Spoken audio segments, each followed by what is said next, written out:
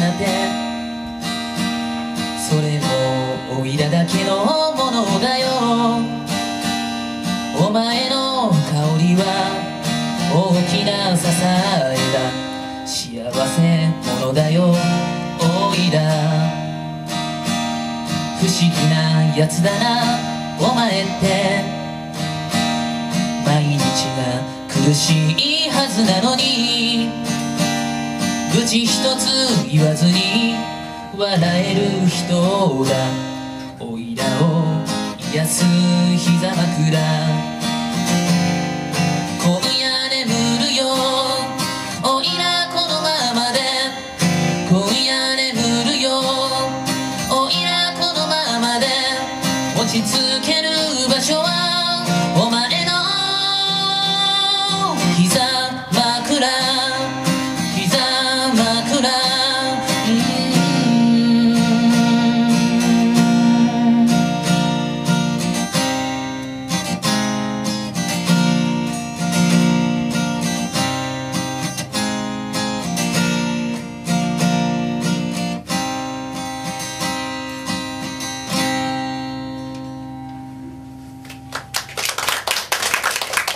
肉枕から膝枕へ春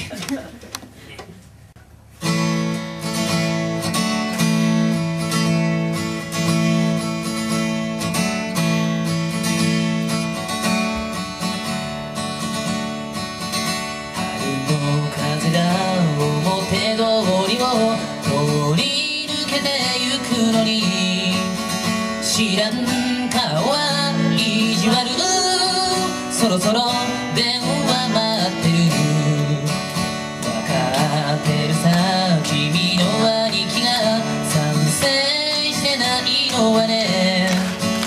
君の立場もわかるし兄貴の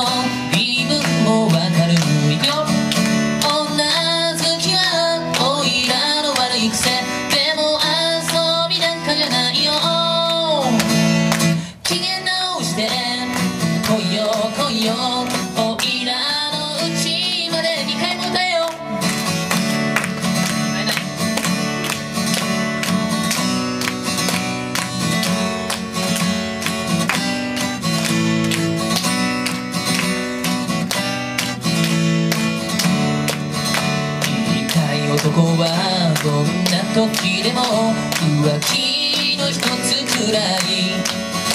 誰でも持っているものさ。納得できないだろうが。